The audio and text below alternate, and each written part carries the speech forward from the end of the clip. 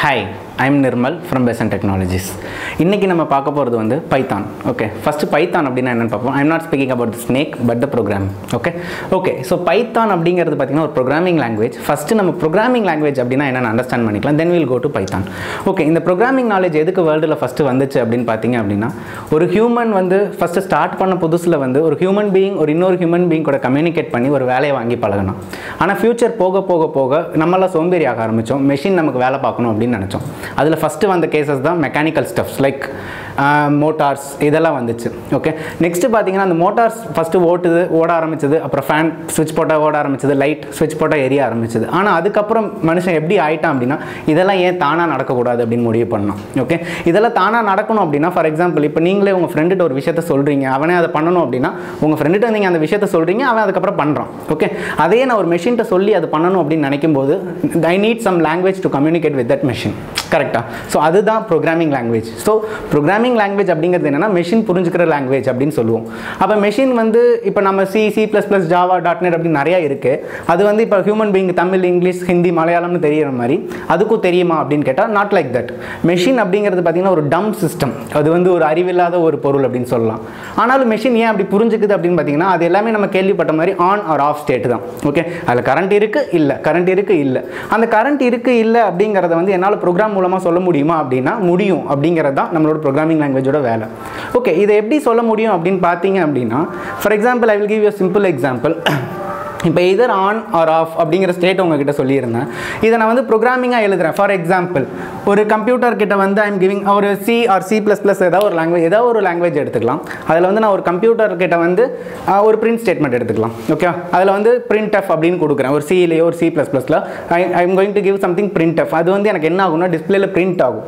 ஆனால் இதை தான் பிரிண்ட் பண்ண சொல்கிறேன் அப்படிங்கிறது கம்ப்யூட்டர் எப்படி புரிஞ்சுக்குது அப்படின்னு பார்த்தீங்க அப்படின்னா அதுக்கு முன்னாடி I have to speak about something so we have a human being human is there அதுக்கு இடையில பார்த்தீங்கன்னா I need a compiler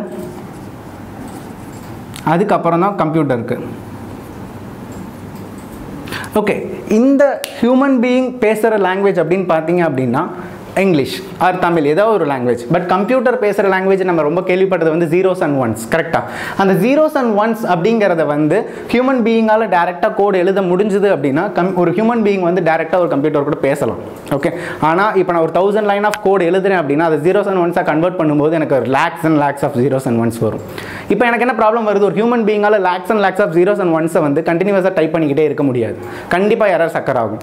so அதுக்காக என்ன ஒரு கான்செப்ட் கொண்டு வந்தாங்க அப்படின்னா கம்பைலர் ஓகே ஸோ இப்போ கம்பைலர் பார்த்தீங்க அப்படின்னா என்ன ஆகும்னா நான் ஒரு ஹியூமன் அண்டர்ஸ்டாண்டபிள் ஃபார்மேட்டில் ஒரு லாங்குவேஜில் கோட் எழுதுவேன். அதை வந்து இந்த கம்பைலர் வந்து இந்த கம்ப்யூட்டர் புரிஞ்ச லாங்குவேஜுக்கு மாற்றும் ஃபார் எக்ஸாம்பிள் நான் ஒரு சி லாங்குவேஜில் பிரிண்ட் பிரிண்ட் எஃப் ஹலோ அப்படின்னு கொடுக்குறேன் அப்படின்னா இதை என்ன பண்ணும் அப்படின்னா என்னோட கம்பைலர் இதை கன்வெர்ட் பண்ணி zero one one zero one one zero ஜீரோன்னு கன்வெர்ட் பண்ணும். சம்திங் எல்ஸ் ஓகே ஸோ இதை வந்து என் கம்ப்யூட்டரை புரிஞ்சுக்கிட்டு அதுக்கேற்ற மாதிரி எனக்கு ஒர்க் பண்ணும். ஸோ இதுதான் ஒரு பேசிக் ப்ரோக்ராமிங்கோட வேலை. ஓகே ஸோ இதில் பார்த்தீங்க அப்படின்னா ஏகப்பட்ட languages from C C plus plus பேசிக்ஸில் COBOL Fortran என்னென்னமோ லாங்குவேஜஸ் சொல்லியிருக்காங்க இப்போ நம்ம ஏன் பைத்தான் பார்க்க போகிறோம் அப்படின்னா இட்ஸ் ப்ளூமிங் நவ் ஓகே இப்போ ஏன் பைத்தான் ரொம்ப ப்ளூமிங்காக இருக்குது அப்படின்னு நம்ம ஃபஸ்ட்டு பார்ப்போம். There are lot of languages பைத்தானோட advance லாங்குவேஜஸில் கேள்விப்பட்டிருப்பீங்க. இப்போ நோட் ஜேஎஸ்னு ஒன்று இருக்குது பயங்கரமாக இருக்குது அயானிக் கோடோ அது இதுன்னு என்னென்னமோ வந்துருச்சு. பட் இருந்தாலும் பார்த்தீங்க அப்படின்னா நம்ம பைத்தான் திடீர்னு ப்ளூம் ஆச்சு பைத்தான் வந்து புது லாங்குவேஜா அப்படின்னு கேட்டால் இல்லை. அகைன் பைத்தான் பார்த்தீங்க அப்படின்னா it's source from nineteen eighty nine eighty நைனில் உங்களுக்கு பைத்தான் வந்துருச்சு. அப்போ யாருமே அதை யூஸ் பண்ணாமல் திடீர்னு ஏன் இப்போ திரும்பி எல்லோரும் கண்டுக்க ஆரம்பிச்சிட்டாங்க அப்படின்னு பார்த்தீங்கன்னா main reason is like machine language I mean machine learning okay machine லேர்னிங்னு ஒரு கான்செப்ட் இப்போ பயங்கர ப்ளூம் ஆகுது. ஆர்டிஃபிஷியல் இன்டெலிஜென்ஸ் அப்படிங்கிறது பயங்கர ப்ளூம் ஆகுது. இந்த மெஷின் லேர்னிங் ஆர்டிஃபிஷியல் இன்டெலிஜென்ஸ்லாம் ஏன் பைத்தானில் தான் பண்ணணுமா அப்படின்னு கேட்டிங்க அப்படின்னா அதர் லாங்குவேஜில் பண்ணுறதை கம்பேர் பண்ணுறதை விட பைத்தானில் பண்ணுறது ரொம்ப ஈஸியாக இருந்துச்சு. ஓகேவா அதுக்கு பெட்டர் எக்ஸாம்பிள் நான் இன்றைக்கி உங்களுக்கு கொடுக்குறேன். எனக்கு பெட்டர் எக்ஸாம்பிள் பார்த்தீங்கன்னா ஒரு பிரிண்ட் ஸ்டேட்மெண்ட்டை நான் ஒரு சி கோடில் எழுதுனா எப்படி எழுதுவேன்? அதே பைத்தானில் எழுதுனா எப்படி எழுதுவேன் அப்படின்னு சொல்ல போகிறது தான் இன்றைக்கி ஓகேங்களா ஸோ ஃபஸ்ட்டு நான் ஒரு C code எழுதிடுறேன். For example if you want say print in a C code you have some header files எழுதணும். அண்ட் அதுக்குன்னு ஒரு ஃபார்மேட் இருக்குது ஸ்ட்ரக்சர் இருக்குது அதை நம்ம பார்ப்போம். லைக் இப்போ சியில் பார்த்தீங்கன்னா ஓகே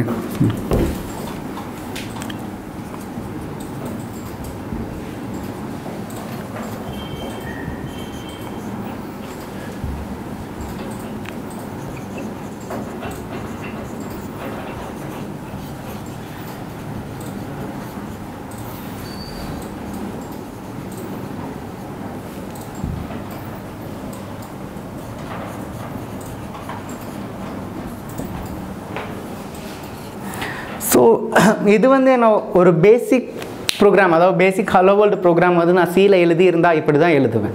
ஸோ இந்த மாதிரி நான் கொடுத்தா மட்டுமே என்னோட கம்பைலர் வில் அண்டர்ஸ்டாண்ட் லைக் அவங்க கொடுக்குற லெட்டரை நான் பிரிண்ட் பண்ணணும். இந்த பிரிண்ட் பண்ணுறதுக்கான கான்செப்ட் எல்லாமே எனக்கு ஹெடர் ஃபைல்ஸில் இருக்கும். ஸோ இந்த ஹெடர் ஃபைல் எனக்கு மஸ்ட் அண்ட் என்னோட ஸ்ட்ரக்சர் வந்து மெயின் லுக்குள்ளே தான் இருக்கணும் அப்படிங்கிறது ஒரு ஃபார்மேட் இருக்குது அண்ட் நான் கொடுக்குற பிரிண்ட் ஸ்டேட்மெண்ட் இப்படி தான் கொடுக்கணும் அப்படிங்கிற ஃபார்மேட் இருக்குது ஸோ இதெல்லாம் ஃபாலோ பண்ணி தான் என்னோட சி லாங்குவேஜ் ஒர்க் ஆகும். ஓகேவா ஸோ ஓகே இப்போ நான் வந்து பைத்தானில் இதே கோடு எழுதுனேன் அப்படின்னு வச்சுக்கோங்க. I'm speaking about Python three not Python two okay பைத்தானில் again பார்த்தீங்கன்னா ரெண்டு வெர்ஷன் இருக்குது Python two and Python three Python two வந்து லெகசி வெர்ஷன் அப்படின்னு சொல்லலாம்.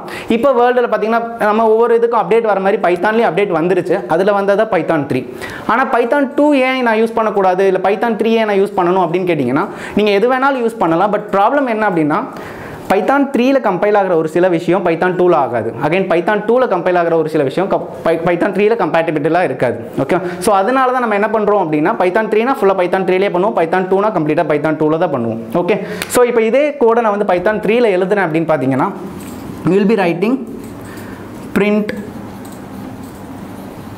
hello world so that's it so உங்களுக்கு என்ன டிஃப்ரென்ஸ் அப்படின்னு பார்த்தீங்க அப்படின்னா எனக்கு இங்கே ஹெடர் ஃபைல்ஸ் வேணும் ஒரு மெயின் லூப் வேணும் and I need some syntax and with ends with semicolon again எனக்கு ஒரு க்ளோசிங் ப்ராக்கெட் இருக்குது but when I go with Python எனக்கு எதுவுமே கிடையாது. நான் ஓப்பன் பண்ணுறேன் பிரிண்ட் கொடுக்குறேன் அலோக் வேர்ல்டு கொடுக்குறேன் and I'm closing it simple okay so உங்களுக்கு இந்த லாங்குவேஜில் எழுத போகிற அஞ்சு அஞ்சு லைன் ஆஃப் கோடை என்னோட பைத்தானில் ஒரே லைனில் நான் முடிச்சிடலாம். ஸோ இதுதான் major blooming reason for Python okay அப்போ நீங்கள் பார்த்தீங்கன்னா இப்போ மெஷின் லாங்குவேஜ் அப்படின்னு எடுத்துகிட்டு அது ஒரு சின்ன விஷயம் கிடையாது. It's like a big big stuff actually எப்படின்னா ஒரு மெஷின் லாங்குவேஜ் அப்படிங்கிறது இல்லை ஒரு ஆர்டிஃபிஷியல் இன்டெலிஜென்ஸ் அப்படின்னா என்னென்னா நம்ம யோசிக்கிற மாதிரி ஒரு கம்ப்யூட்டர் நம்ம யோசிக்க வைக்கணும். கரெக்டாக எக்ஸாம்பிள் சிட்டி ஓகே ஒரு சிட்டி மாதிரி ஒரு ரோபோ நான் ரெடி பண்ணணும் அப்படின்னா அந்த ரோபோக்கு நான் ப்ரோக்ராம் எழுதுறேன். இப்போ சீல எழுதுறேன் அப்படின்னு பார்த்தீங்க அப்படின்னா நான் சீல வந்து அது கோடிங் எழுதுறதுக்கு கிட்டத்தட்ட ஒரு ரெண்டு கோடி லைன்ஸ் எழுதுறேன் அப்படின்னா அப்ராக்சிமேட்டாக பைத்தானில் அதே வந்து பார்த்தீங்க அப்படின்னா ஒரு ரெண்டு லட்சம் இருபது லட்சம் லைனில் முடிச்சிடலாம். ஸோ இதுதான் நான் இதனால தான் பைத்தான் எனக்கு அதுவும் இல்லாமல் பைத்தான் லேர்னிங் ரொம்ப ஈஸியாக இருக்கும். எனக்கு இட்ஸ் அ இன்டர்பிரேட்டட் லாங்குவேஜ் அப்படின்னு சொல்லலாம். ஓகே ஸோ இதெல்லாம் இதனால தான் பைத்தான் எனக்கு இப்போ பயங்கர ப்ளூமிங்கில் இருக்குது and with these course we have learn to write how to write a basic basic hello world program in python also. Okay? Thank you for watching us.